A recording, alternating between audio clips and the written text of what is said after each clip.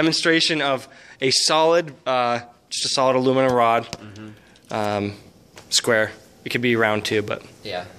As I pinch the rod and pull and push it, I'm extending it and contracting the length of the rod, which, if I do it enough, will excite it and create sound in a harmonic.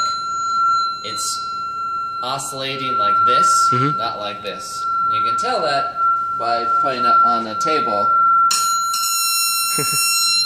and hearing it squeal.